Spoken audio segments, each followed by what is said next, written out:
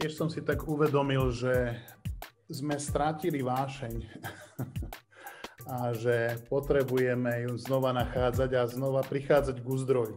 A že potrebujeme vidieť Boha veľkého, že potrebujeme sa mu odvážiť, odovzdať sa znovu. A že potrebujeme znova tak započuť, čím bije to jeho srdce. Lebo sme zahábaní naozaj vo veciach, ktoré sa týkajú len nás. Tak e, znova to bolo také tá apoštolská vášeň, kde si ochotný zomrieť, lebo Kristus je všetko. Aj to je to, čo si odnášam.